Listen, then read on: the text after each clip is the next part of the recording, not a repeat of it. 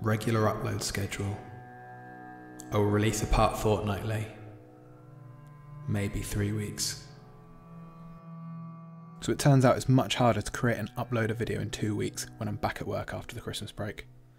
As you can probably guess, it's finally finished and I'm pleased with the result. I won't make the mistake of promising a turnaround time for the final part of the iceberg, so make sure you subscribe to be notified when the final part is out. The benefit of subscribing to me is that there's no chance of being spammed with daily videos. This is part 2 of the Dungeons & Dragons iceberg explained. If you're looking for a complete experience, part 1 is available in the link below. However, if, like me, you prefer the deeper sections, stick around and you can maybe just go back to part 1 later. Again, don't forget to subscribe if you enjoy my content. It means my videos are more likely to pop up in your and others' feeds, rare as they may be. A lot of work goes into these videos, so I do want them to be seen. Below the surface.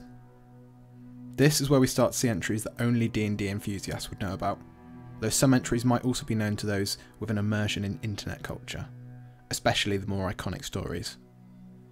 As a warning, I will omit an entry in this section and another in the next section, because they are, or can be considered, piracy tools or resources.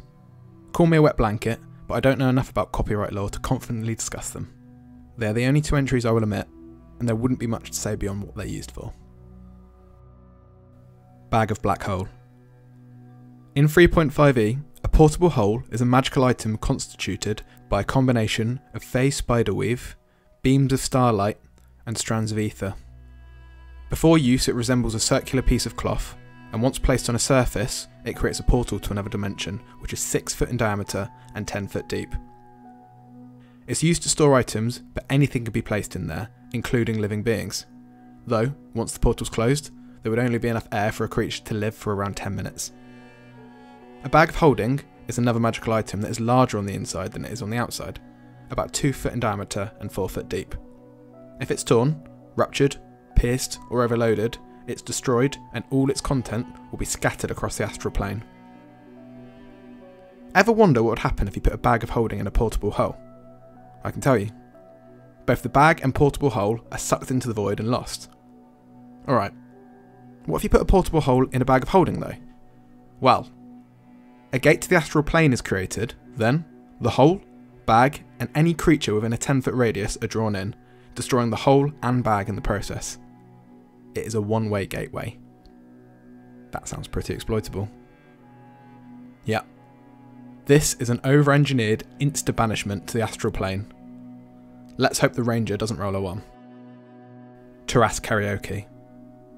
This entry refers to Dingo Doodle's story about Sips, the wild mage, and their drunken karaoke performance with severe consequences. I've added a link to the video in the description below. It's a funny story based on a wild mage who, in trying to give a stellar performance, inadvertently creates a dead magic zone during said karaoke performance, which leads to the release of a Tarrasque imprisoned under the city. The story escalates further and further as rolls make the situation worse and worse. It's a great example of a story which someone can enjoy whether they've played D&D before or not, and I expect it introduced the game to a good number of current players, which is always a good thing. That guy, rules lawyer. We all know that guy. He could be a lot of different things, but they're all infuriating.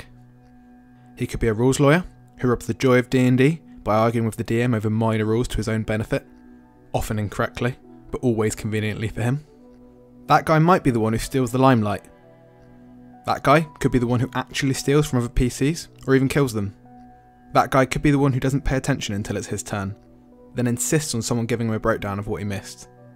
That guy could be the one who is metagaming at the table, or the one whose character is min to the max. That guy adds extra gold into his inventory here and there behind the DM's back. That guy might even be the creeper who hassles players in and out of character and who ignores boundaries. That guy could also have poor hygiene. That guy is the guy who generally makes the experience less fun for everyone at the table. Don't be that guy. Sir Bearington. This is a classic green text story and one of my first exposures to the wide storytelling possibilities D&D can offer. If it's a true story, the DM seems to have played loose with the rules for the sake of fun, which I think is totally acceptable for player enjoyment, as long as it doesn't lead to imbalances. I'll read the green text for you now. Make a bear character in D&D 3.5. DM laughs. Make bear a rogue. Put every point I can into disguise. Prestige class as a spy to get more disguise. DM says I can't speak English. Max out bluff.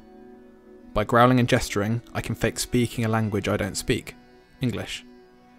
Use money to hire a butler NPC. Give him magical item to let him speak bear. Growl. An excellent suggestion, Mr. Bearington. We really should ask the group to investigate the Black Marsh. Over the course of the game, be knighted to Sir Bearington. Queen holds a dinner in my honour. A guest becomes the first man to ever make a perception check that can beat my disguise. Shouts out loud, Hey, that guy's not a guy, he's just a bear. Man is escorted out of the castle while the guards apologise profusely for the indignity. We're so sorry, Sir Bearington. Very sorry for this man's behaviour. Roar. Shrug. I rolled to seduce the dragon. For the uninitiated, you might ask, who in their right mind would roll to seduce a dragon? And to answer that question, I won't offer an individual, but a class. Bards. Bards are notorious for playing campaigns as Casanovas, rolling their way into hearts and bedrooms. The idea of rolling to seduce a dragon is a meme or joke in the D&D community, though if you look it up, you'll find plenty of players telling their stories of attempting, successfully or unsuccessfully, to seduce dragons. Some are more wholesome than others. Tomb of Horrors. Tomb of Horrors is iconic in the D&D community, though I'm still undecided on whether it's fame or infamy. There is no doubt that it's beloved though.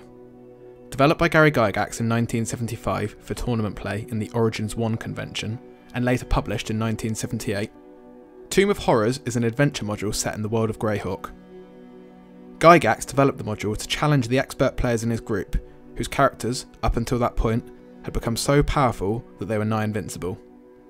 The dungeon itself has a focus on traps and puzzles rather than combat, which was the first module to do so, and has strong incentives to make poor decisions in the pursuit of riches. More likely, the PCs will find death, or complete annihilation. The plot surrounds the undead wizard, Acererak, in his ancient tomb, with adventurers attempting to slay him and take his treasure. There are stories all over the internet of players' ingenious plans to beat the tomb, with varying degrees of success. But even with a solid plan, bad luck will end a run.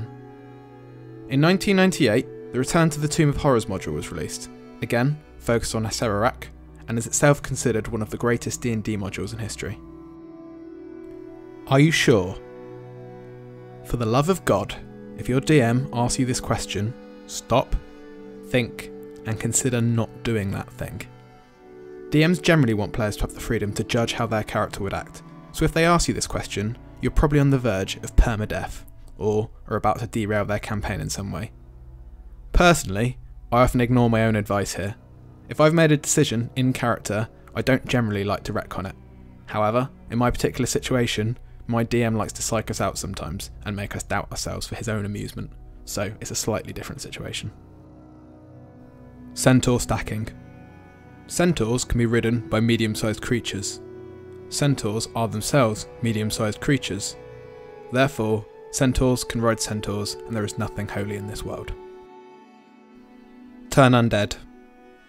Clerics have the ability to turn undead. Whilst this sounds like an epic skill whereby clerics turn undead back into dead beings, change their alignment, or perhaps even turn creatures into undead creatures, the reality is that Turn Undead quite literally turns undead enemies around by pushing them 15 feet away. It's a channel divinity where essentially a holy light causes the undead to retreat somewhat into self defense. Still, a very useful spell, though it sounds a lot cooler than it really is. Sigil. The D&D multiverse is made up of multiple planes and realms of existence. The material plane is the default setting for most adventures, each plane has its own rules, laws, and features which make it unique, and they can vary drastically from being hell realms to realms of elements, energies, and even death. There have been different cosmological explanations for the relationship between realms through D&D's history, though currently in 5e, the Great Wheel cosmology is the most popular.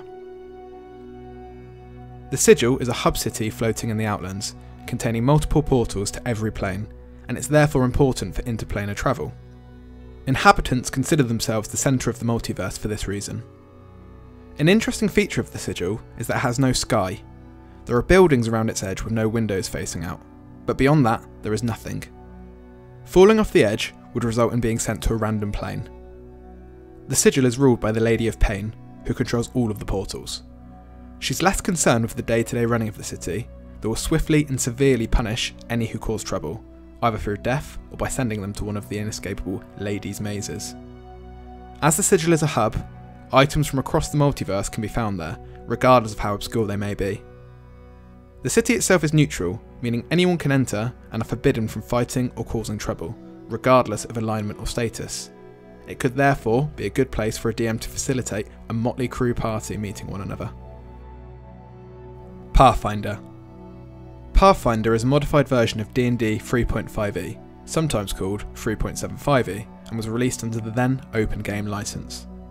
It was published by Paizo Publishing in response to the then upcoming 4e version of D&D's more restrictive game license system, which would have afforded less freedom in publishing content within D&D systems. Pathfinder was at times more popular than D&D during the 4e period, though this changed upon the release of 5e. However, it does still have a significant following. Pathfinder is set in the world of Golarion, and has had multiple forms of media based on the system, including books, card games, and video games. Some still consider Pathfinder to be the superior RPG system. TSR. Oh boy. This is where we delve a bit deeper into the politics and business surrounding D&D, and as always, it's pretty spicy. We've already heard a bit about TSR in the Gary Gygax entry, though here we'll delve a bit deeper. First, as a reminder, TSR is the original publishing company for D&D created by Gary Gygax and Don Kaye. The first dispute surrounds Dave Arneson, the co-creator of D&D along with Gygax. Gygax did not acknowledge Arneson's intellectual property claims of later versions of D&D, claiming that Advanced Dungeons & Dragons was significantly different to 1E and not a game which Arneson helped to create. This was resolved, finally, in 1997, after D&D was at that point owned by Wizards of the Coast, for the purposes of releasing Advanced Dungeons & Dragons under the Dungeons & Dragons name. The fee Arneson received was not disclosed. In 1973, Brian Blume was brought into TSR to help finance the company. However, when Don Kaye died suddenly in 1975, the company was run by Gygax and Blume alone.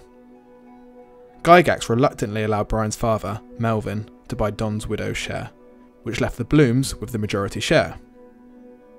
Brian's brother, Kevin, later purchased Melvin's shares, which gave the brothers a controlling interest in the company. The company was split by the Blumes into TSR Inc. and TSR Entertainment, giving Gygax presidency of TSR Entertainment to develop TV and movie opportunities. This is why Gygax was living in Hollywood when we talked about this period of his life in the Gary Gygax section. Later, Gygax found out that much of the financial issues TSR faced were down to Brian Blume's mismanagement, and he successfully had Brian removed by the board. He then used his 700 share stock option to give himself majority control of the company and made himself CEO and president. He hired Lorraine Williams as a company manager and then dismissed the other three directors. This backfired though, as the Blumes triggered their own stock option and sold it to Lorraine Williams, giving her majority share. Gygax attempted to prevent this through the courts, but was unsuccessful. Williams then took the role of president and CEO herself and told Gygax that no further creative contributions to TSR would be accepted. The following year, Gygax resigned all positions at TSR and settled his disputes with TSR, losing the rights to almost everything except a few individual characters. Spicy stuff, and whilst I do feel for Gary, he pulled a fair few shenanigans himself. Bardbarians. A bardbarian, as you might guess, is a class combination of a bard and barbarian. As a combination, it could lead to an interesting character to roleplay, and does have the benefit of making a bard more useful in combat and a barbarian more useful out of combat.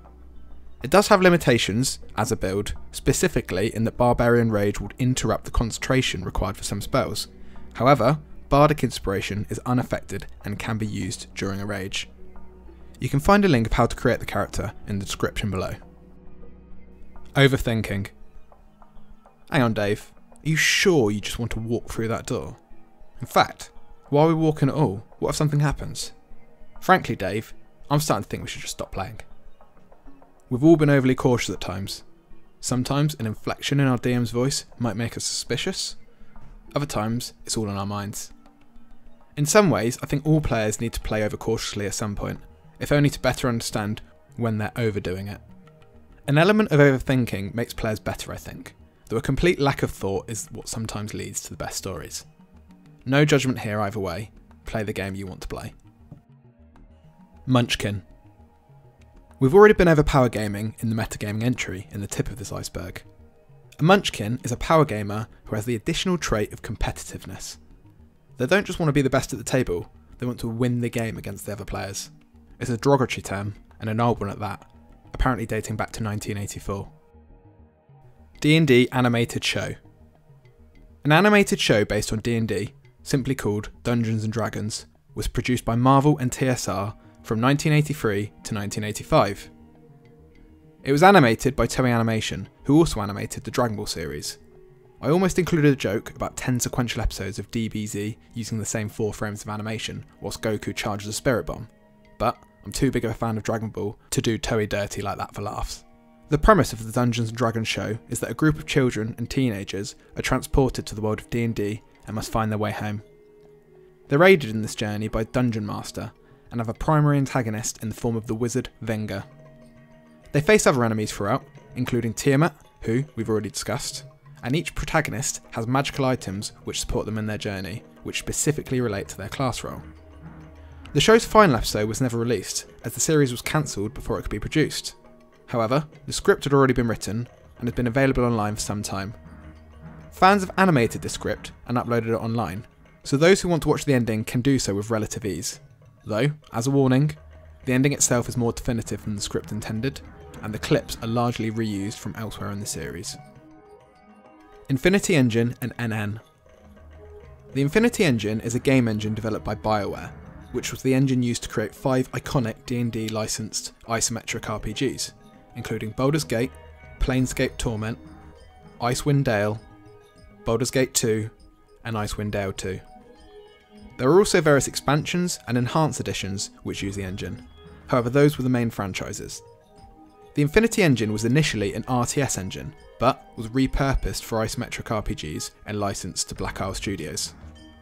In more recent years, fans have reverse engineered the engine and created tools to edit game files with an open source recreation even being available to develop on. The Infinity Engine was succeeded by the Aurora engine, which was the engine used to create the Neverwinter Nights RPGs. That was my first foray into the Forgotten Realms, so I do have fond memories playing that series. Ed Greenwood. As we already know from the last section of the iceberg, Ed Greenwood was the original creator of the Forgotten Realms setting. In day to day life, Greenwood is a library clerk, which makes a lot of sense considering his love of books and publishing. Greenwood also regularly attends D&D conventions dressed as Elminster from his Elminster series of books. So in many ways, I think Ed Greenwood is what many aspire to be. Passionate about his interests, successful and popular within his community and unapologetically himself. I won't go on for too long, and certainly don't want to come across as a giddy fanboy, but I do have an enormous respect for Ed Greenwood. I cast Fireball, stroke Eldritch Blast. I think this entry refers to the tendency for some wizards and warlocks with their wide range of spells to default to either Fireball or Eldritch Blast. It's easy to see why. Both spells are very effective combat spells in most situations, and for Warlocks, this is especially important considering their more limited spellbooks. If you're a DM who's had enough of players using the same spells, there are lots of ways you might address it. You could use fire or force resistant enemies, have enemies use counterspell and other similar spells. You could think about enemy placement in encounters to disincentivize the spells, and could even look at spell components and use effects to limit those components to encourage more creative play. That said, some players are less interested in combat and prefer other RPG mechanics, interactions, and exploration. So as long as your players are having fun, I don't think it's the end of the world if there's a warlock sitting at the back, shooting a few beams of energy out of his hands. If I'd made the spirit bomb joke earlier, a lazy Kamehameha joke would have been perfect here. Arkhan steals the hand of Vecna. Spoiler warning, skip to the next section if you're currently watching Critical Role. Arkhan is a Dragonborn paladin stroke barbarian played by Joe Manganiello in the Critical Role podcast. He was a player character who, along with the main party, fought Vecna, an arch lich who at that point had ascended to godhood. The party managed to seal Vecna's divine form outside of the prime material plane, beyond the divine gate, to permanently seal him away. The only thing remaining was his hand. Arkhan announced that it was time to destroy the hand of Vecna, however at the last minute, he chopped off his own hand, attached Vecna's hand to himself, healed himself, and teleported away. It was an epic betrayal, and one which has gone down as legendary for those that watch Critical Role. Out of character, Joe had spoken with the DM about his character's motivations previously, so it wasn't a total shock. However, Matt did not know how Joe intended to try to steal it, so was likely as entertained as the rest of us. Red Box The Red Box is the D&D game starter set, containing a player book and a DM book, as well as character sheets, maps, tokens, dice, and cards to help new players get started with D&D. From what I can tell, the 4e version is what is usually referred to as the Red Box. However, the 1983 revision of the original basic set is when the first Red Box was released. The basic sets will be the first experience many players and DMs have with D&D, especially before online platforms and resources became so prevalent. So for those that have been playing for some time, the red boxes will be quite nostalgic. The prices of certain editions certainly reflect that. Bonus. Forever DM. The person in the group who is most into D&D is often, unfortunately, also the one who never gets to play. Being a DM is fun in its own right, but it takes a lot of time and preparation to give players fulfilling role-playing experiences. So even the most enthusiastic and committed DM has probably wanted to just play D&D sometimes. However, either because none of their players know enough about D&D to DM, or they just don't have the time or will, they must remain the forever DM. My own DM had been a forever DM for some time, However, he's recently found another group to play with, which brings me great joy. I've run a couple of one shots before, however, he is actually unable to attend both, which did not bring me joy. Bonus 2 Racist? This is a broad topic, the question of whether D&D is racist or not. It's another controversy surrounding D&D, much like the Satanic Panic, though one which I think should be taken more seriously. I think in some ways, D&D could always be labelled as having elements of racism by design, as different player races have different essential attributes, and there are even similar personality traits among particular races, which necessarily leads to tropes and stereotypes, even if they are only of fantasy creatures. Whilst races in D&D are more distinct than ethnic races in the real world, and they're effectively different species, it could be argued that the presence of these differences might reinforce stereotypes to players in the real world. Though here, I think it is important to note that this conclusion is probably another moral panic as I doubt D&D has ever made anyone racist. Rather, it's far more likely that the racist who plays D&D was already a racist. I could be wrong though, so I would always keep an open mind and it's definitely a question worth asking.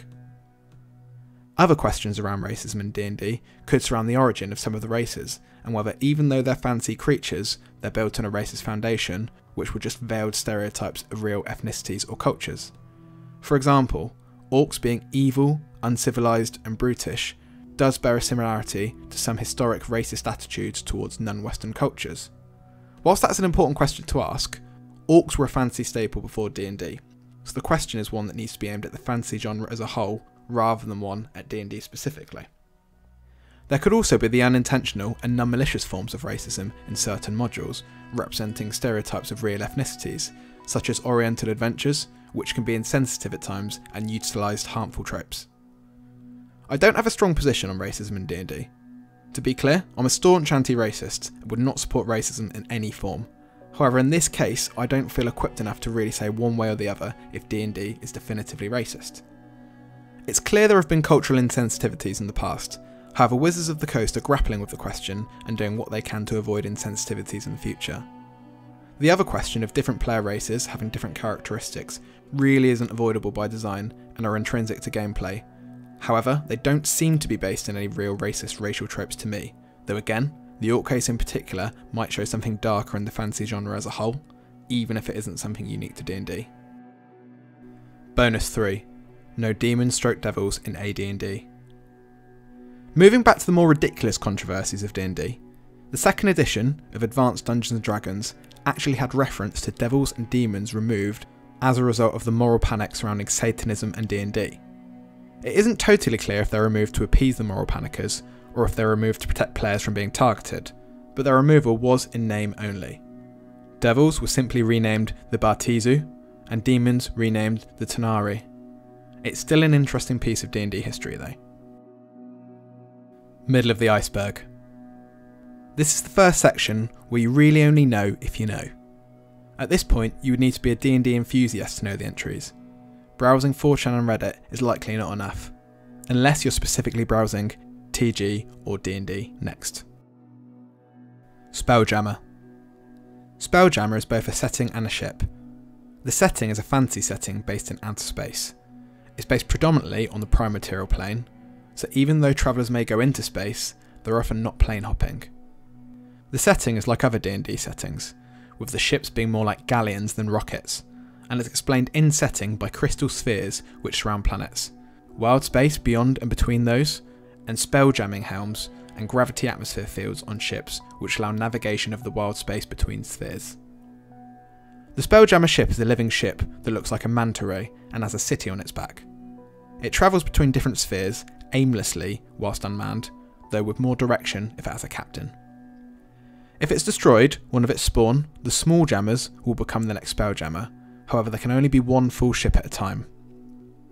Spelljamming is just the process of travelling between crystal spheres and has been used as a way of connecting different D&D worlds stroke settings, though the Planescape setting later replaced Spelljammer setting as the predominant means of connecting settings, which fits with the Great Wheel cosmology more neatly. Though, each subsequent edition of D&D has had some reference to Spelljammer content. Mazes and Monsters You might recognise this name from the Satanic Panic in the last video. Mazes and Monsters was first a novel and later a movie, which was based on the story of James Dallas Egbert III. It lent into the discredited interpretation that James was LARPing a version of D&D and became lost in the tunnels beneath his school. The made-for-TV version of the story, starring Tom Hanks, tells a story wherein a group of troubled teens meet, organise a LARP, and in the process, Robbie, Tom Hanks' character, suffers a permanent psychotic break, with the movie ending showing him stuck in fiction. It was certainly a product of the moral panic surrounding D&D at the time.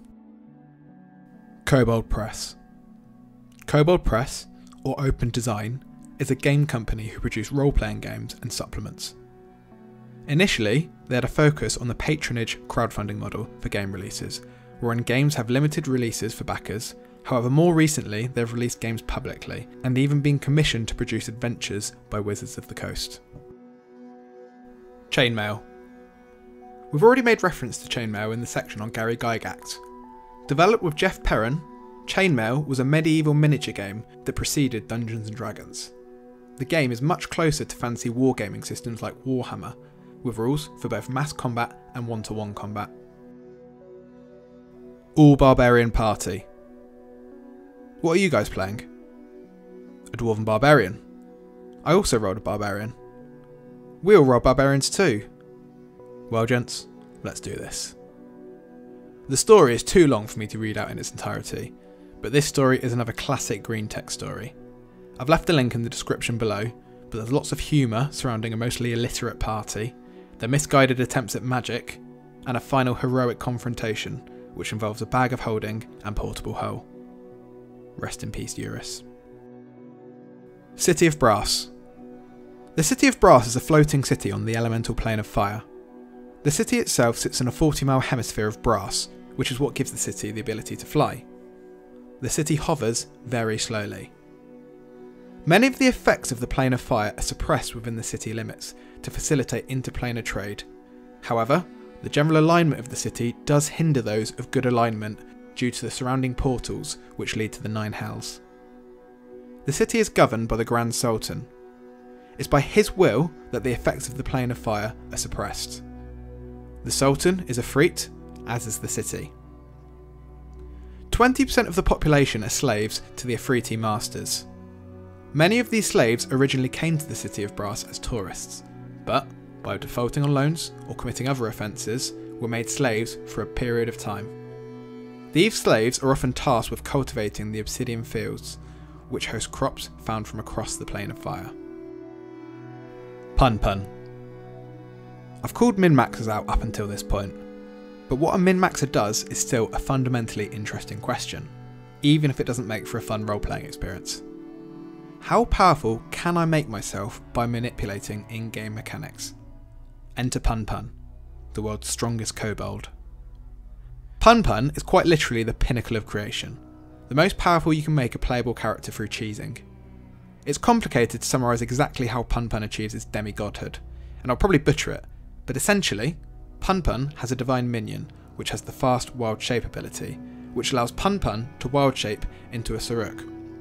Pun Pun then uses assumed supernatural ability to use the manipulate form ability, which he then uses to give the manipulate form ability to his divine minion. Pun Pun then dismisses the Sarrukh form.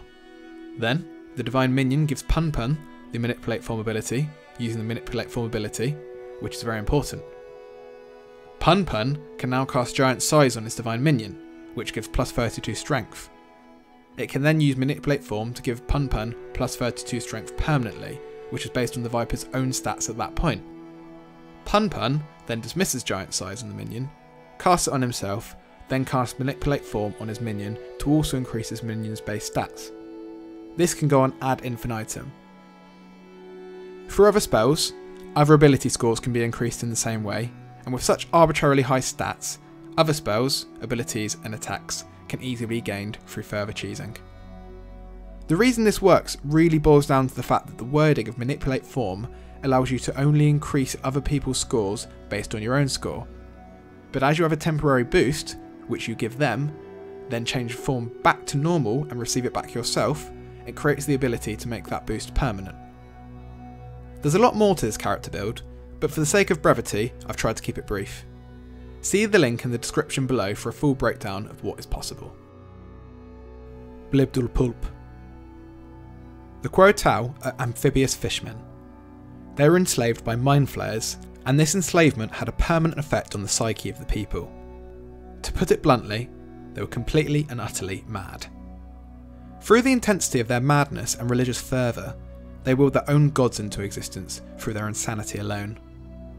Blibdoolpoolp is their patron goddess and protector.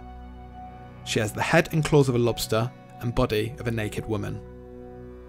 Known as the Sea Mother, she was irrational and unpredictable herself, and had a strong hatred towards mind flayers and drows who caused suffering to her people. The goddess would accept offerings of pearls, lobsters, and dead drow for favour, and could bestow either positive or negative magical effects on others. She can make you mad, or allow you the ability to cast a spell to transform a hand into a lobster claw. She at one point owned a necklace which could produce pearls, however this was stolen by the demigoddess Diancastra after she disguised herself as a Kuo-toa. TG TG is the 4chan board dedicated to tabletop gaming. It's a source for most of the green text we have already seen in this iceberg, as well as many more. The board is open to all forms of tabletop gaming, but Warhammer, Magic the Gathering, Yu-Gi-Oh and D&D make up a large part of the content, as you might expect. As far as 4chan goes, it's a board which is mostly dedicated to the hobbies themselves. And whilst I wouldn't necessarily say it's free from the worst aspects of 4chan, the community is focused on the hobby and don't have the same negative attitudes as some other boards. Still a lot of cringe at times though. 1D4chan 1D4chan is a wiki which is dedicated to the TG board. It has entries on the games themselves, but also on memes and green text which originated on the TG board. It's a great resource for someone like me who's doing a video on D&D. Its server has been up and down over the years, but is currently very much up. End of part 2. And that's it for this entry. As I said, I'm not promising a timeline on the next video, but I expect it to take a lot less time than this video. Don't forget to subscribe to support me and be notified when the next part is out. Ciao.